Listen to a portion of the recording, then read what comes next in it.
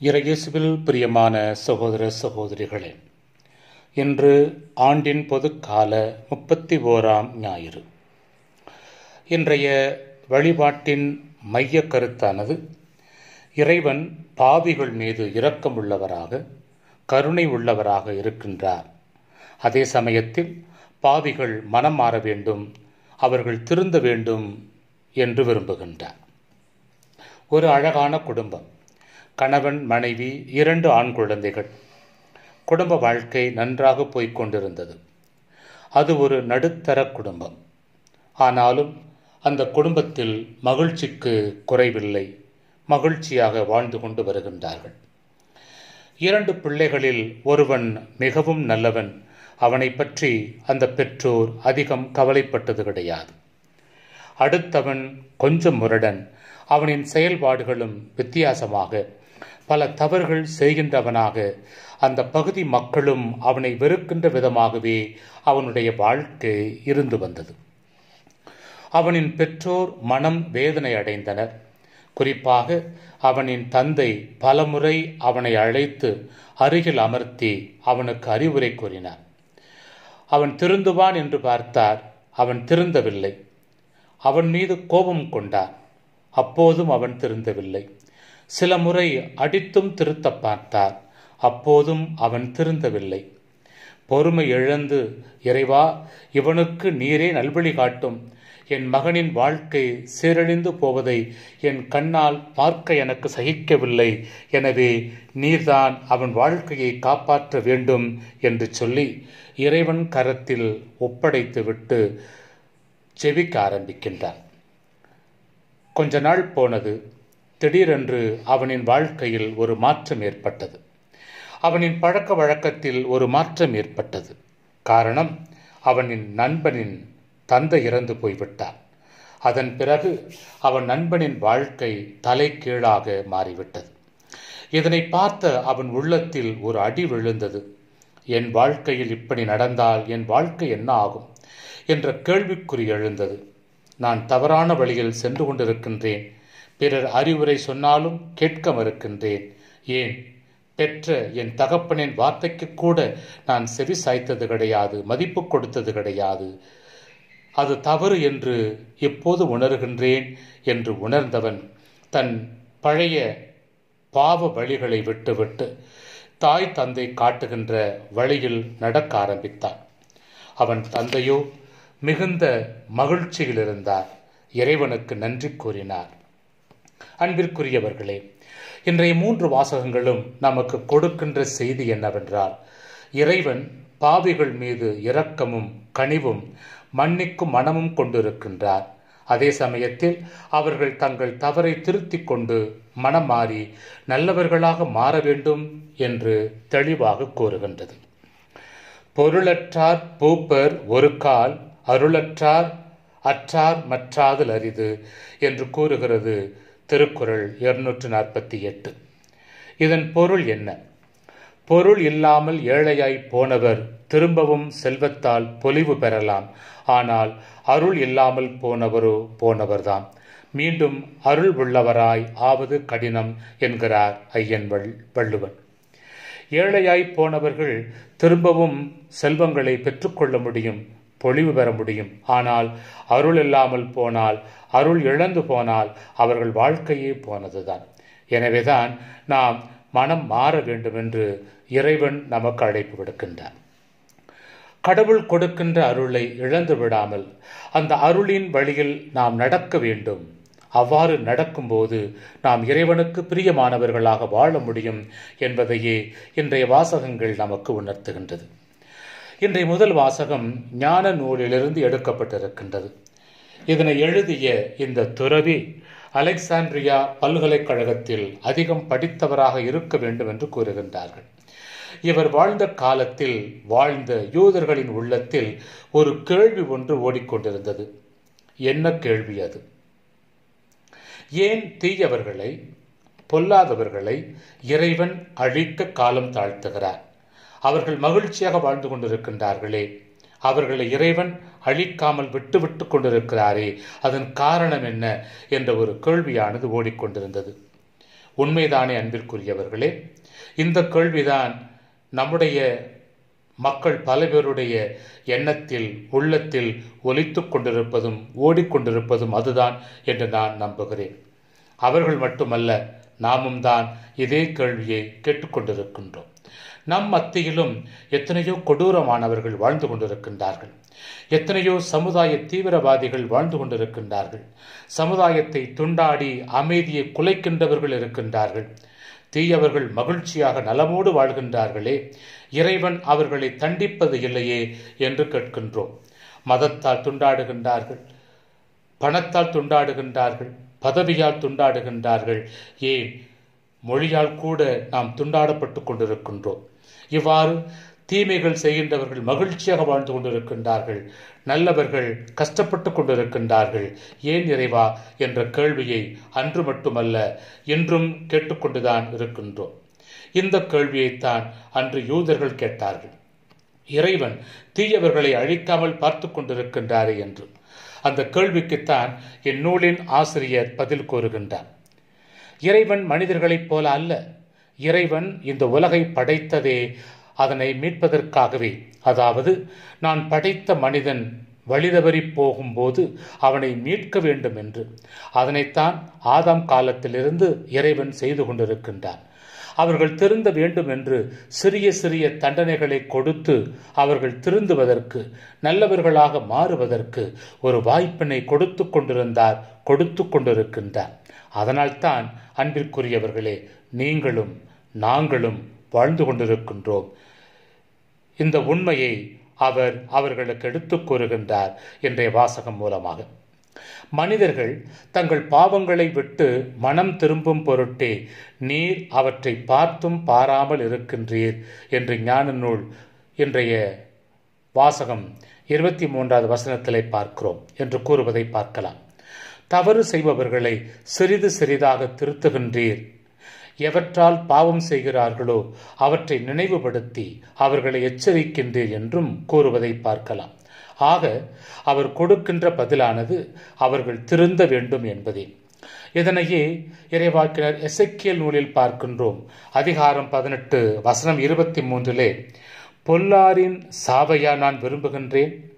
அவர்கள் தம் வழிகளில் நின்று திரும்பி வாழ வேண்டும் என்பதன்றோ என் விருப்பம் என்கிறார். மேலும் பேதுரு எழுதி இரண்டாவது திருமுகத்திலே பார்க்கிறோம். அதிகாரம் ஒன்பது அதிகாரம் மூன்று வசனம் ஒன்பதிலே ஆண்டவர் தம் வாக்குறுதியை நிறைவேற்ற காலம் தாழ்த்துவதாக சிலர் கருதுகின்றனர். ஆனால் அவர் காலம் தாழ்த்துவதில்லை. மாறாக உங்களுக்காக பொறுமையோடு இருக்கின்றார். யாரும் அழிந்து போகாமல் எல்லாரும் மனமாற வேண்டும் என விரும்புகின்றார் என்கிறார் பேதுரு. இதனைத்தான் இந்நூலின் ஆசிரியர் தன்னோடு வாழ்ந்த அந்த யூத மக்களுக்கு அறிவுரையாக கூறுகின்றார் அன்பிற்குரியவர்களே.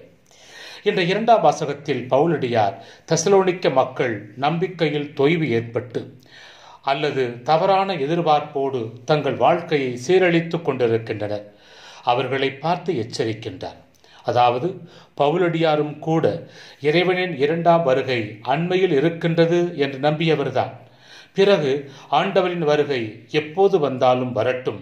அவர் வருகைக்காக நாம் தயாரிப்போம் தயாராக இருப்போம் என்று உணர்ந்து வாழ்ந்து கொண்டு வருகின்றார்.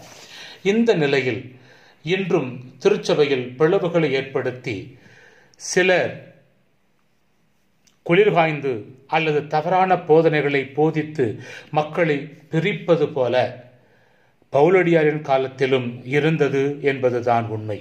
அதாவது இயேசு விரைவாக வரப்போகின்றார் நம்மை மீட்கப் போகின்றார் நாம் ஏன் உழைக்க வேண்டும்? நாம் ஏன் கஷ்டப்பட வேண்டும்? அதெல்லாம் தேவையில்லை. ஜெபித்து கொண்டிருப்போம்.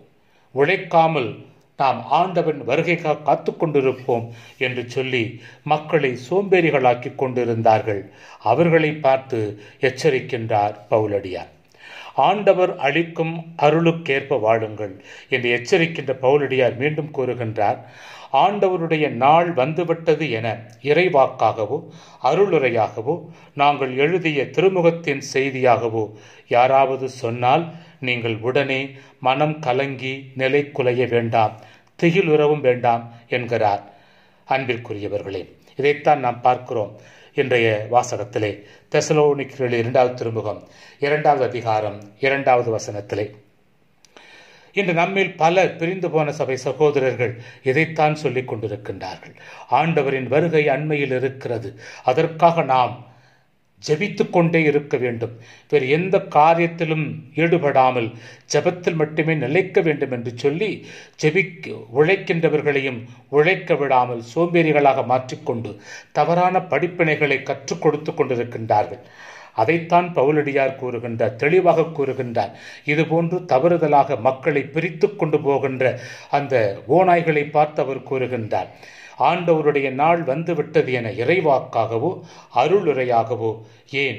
நாங்கள் எழுதிய திருமுகத்தின் செய்தியாகவோ யாராவது சொன்னால் நீங்கள் உடனே நம்ப வேண்டாம் நிலை குலைய வேண்டாம் அவர்களை ஏற்றுக்கொள்ள வேண்டாம் அவர்கள் பின்னால் போக வேண்டாம் என்று கூறுகின்றார். எனவே சோம்பித் தெரியாமல் நமது கடமைகளை விட்டு விடாமல் அதே சமயத்தில் இறைவனின் வார்த்தைக்கேற்ப வாழ்ந்து காட்ட வேண்டும் என்கிறார் அன்பிற்குரியவர்களே. என்னை பின்பற்ற விரும்பும் எவரும் தங்களிடம் இருப்பவற்றை விட்டுவிட்டு அல்லது ஏழைகளுக்கு கொடுத்துவிட்டு வர வேண்டும் என்பதில் என்பதல்ல. இயேசுவை தேடி வந்த பணக்காரர் உம்மை பின்பற்ற நிலை வாழ்வை பெற நான் என்ன செய்ய வேண்டும் என்று கேட்டதற்கும் ஆண்டவர் கூறிய பதில் இதுதான். ஆனால் அவற்றை இழக்காமல் சுகத்தோடு போனார் என்று பார்க்கிறோம். உலக காரியங்களை இழந்தால் மாத்திரமே கடவுளை அடைய முடியும் என்பதைத்தான் அது கூறுகின்றது. ஆனால் அவற்றை இழக்க முடியாமல் இயேசுவை தேடி வந்த பணக்காரர் உம்மை பின்பற்ற நிலை வாழ்வை பெற நான் என்ன செய்ய வேண்டும்? என்று கேட்டபோது ஆண்டவர் கூறிய பதிலால் அவர் சோகமாக போவதை நாம் பார்க்கிறோம். காரணம் அவரிடம் சொத்துக்கள் ஏராளமாக இருந்தது அதை அவரால் இழந்துவிட்டு இயேசுவை முழுமையாக பின்பற்ற முடியவில்லை. ஆனால் இன்றைய நற்செய்தியில் வருகின்ற அந்த வரி வசூல் செய்பவர் மட்டுமல்ல அவர்களின் அதிகாரி போல இருக்கின்ற சக்கேயு அவருடைய மனமாற்றத்தை பார்க்கிறோம். எரிக்கோ என்பது ஒரு பணக்கார நகரமாம். செல்வந்தர்கள் அதிகம் வாழும் இடம் என்று கூறுகின்றார்கள். இங்கே பல தொழில்கள் சிறப்பாக நடைபெறும் நடைபெற்றது. அவ்வாறு நடைபெறுகின்ற தொழில் நகரமும் கூட. எனவே வருவாயும் அதிகம் வந்தது. இவரிடம் பணம் இருந்தது பதவி இருந்தது எல்லாமே இருந்தது. ஆனால் நண்பர்கள் இல்லை. காரணம் என்ன? இவர்கள் பணத்தை வசூலிக்க மோசமாக நடந்து கொள்வார்கள். இன்று பல நாடுகளில் ஹைவேஸில் சுங்கம் வாங்குபவர்கள் டெண்டர் எடுத்து வசூலுக்கு மேலாக வரி வசூல் செய்வது போல அன்று நடந்ததால் இவர்களை மக்கள் வெறுத்தார்கள். அவர்கள் மக்களோடு உறவாட நினைத்தாலும் மக்கள் அவர்களோடு சேர மாட்டார்கள்.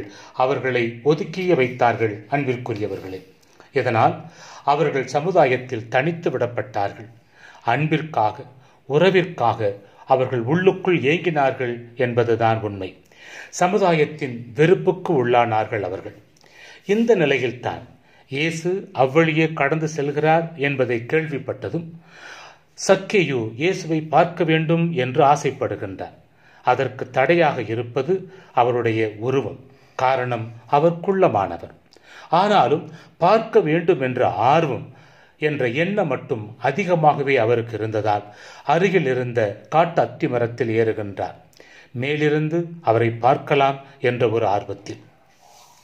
வெளியிலே அதிகாரத் தோரணையோடு இருந்தாலும் உள்ளுக்குள் மனமானது ஈரமாகவும் இருந்திருக்க வேண்டும். இயேசுவை பற்றி அவரது பெருமையை பற்றி கேள்விப்பட்டிருக்க வேண்டும். அவரின் இரக்க குணத்தை மன்னிக்கும் மனதை பற்றி அறிந்திருக்க வேண்டும்.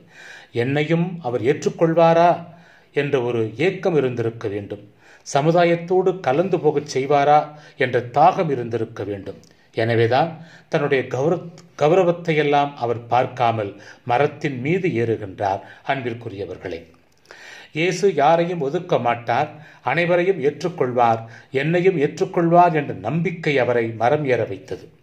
இயேசு அவ்வழியே வருகின்ற போது ஏராளமான மக்கள் அவரை பின்பற்றி கூட்டமாக வருகின்ற போது சரியாக அங்கே வருகின்றார் மேலே பார்க்கின்றார் பெயரைச் சொல்லி அழைக்கின்றார்.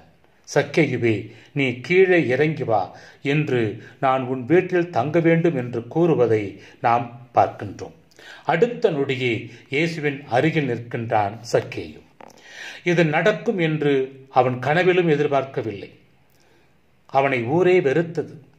மக்கள் அனைவரும் வெறுத்தார்கள். அவரை மனிதராக கூட மதிக்கவில்லை. ஆனால் இறைவன் மதித்தார். இறைவன் அவரை ஏற்றுக்கொண்டார். மக்கள் வர தயங்கிய இல்லத்திற்குள் இறைவன் வருகின்றார். மற்றவர்களுக்கு இந்த செயல் கோபத்தை வரவழைத்தது அன்பிற்குரியவர்களே. ஆனால் இறைவன் அதனை பொருள்படுத்தவில்லை. மனிதன் மனம் மாறுவதுதான் அவரது நோக்கமே தவிர அவர்களை வெறுப்பது அல்ல அவர்களை புறக்கணிப்பது அல்ல. அந்த செயல்தான் சக்கைவின் மனதை மாற்றியது. நான் உன் வீட்டிற்கு வந்தால் நீ நல்லவனாக மாறுவாயா? உன் தீய வழிகளை விட்டு விலகுவாயா?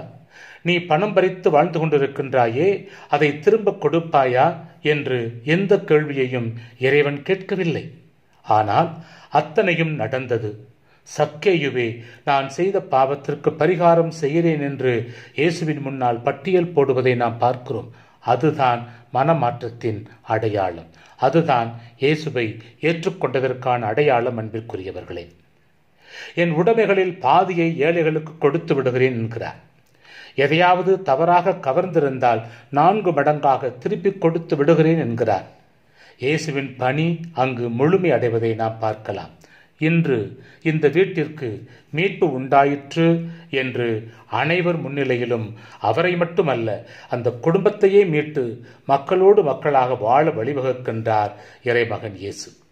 மனம் மாறிய ஒரு பாவியை குறித்து விண்ணுலகில் மிகுதியான மகிழ்ச்சி உண்டாகும் என்று இயேசு கூறியது அங்கே நிறைவேறியதை நாம் பார்க்கலாம். அன்பிற்குரியவர்களே இயேசுவை அடைய வேண்டுமென்றால் தங்களிடம் உள்ளவற்றை இழக்க முன் வருகின்றவர்களே இறைவனை அடைய முடியும் என்பதை உணர வேண்டும். இரண்டாவது தங்கள் பாவத்திற்காக மன வருத்தம் அடைகின்றவர்களே இறைவனின் அருளை முழுமையாக பெற முடியும் என்பதை உணர வேண்டும். மூன்றாவது மன வருத்தத்தோடு நின்று விடாமல் அதற்கு பரிகாரம் செய்ய முன் வருபவர்களுக்கு மீட்பை கொடுத்து அவர்களின் மகிழ்ச்சியில் பங்கு பெறும் பாக்கியத்தை கொடுக்கின்றார் என்பதை நாம் உணர்ந்து பார்க்க வேண்டும். நான்காவதாக இறைவன் பாவிகள் மனம் மாற பொறுமையாயிருக்கின்றார். பொறுமையை கடைபிடிக்கின்றார் தண்டிக்காமல் இருக்கின்றார் என்பதற்காக அவர் எதுவும் செய்ய மாட்டார் என்று மமதையோடு வாழ வேண்டும் என்பதல்ல. அதன் அர்த்தம் அவர் நமக்கு வாய்ப்பு கொடுக்கின்றார் என்று உணர்ந்து பார்க்க வேண்டும். அவர் உணர்கின்ற பொழுது நாம் மனம் மாற வேண்டும். அவ்வாறு மனம் மாறினால் இறைவனை அடைவோம் இறைவன் தரும் மீட்பினை சுவைப்போம் என்று முழுமையாக உணர்ந்து நாம் வாழ நம்மையே தயாரிக்க வேண்டும் அன்பிற்குரியவர்களே.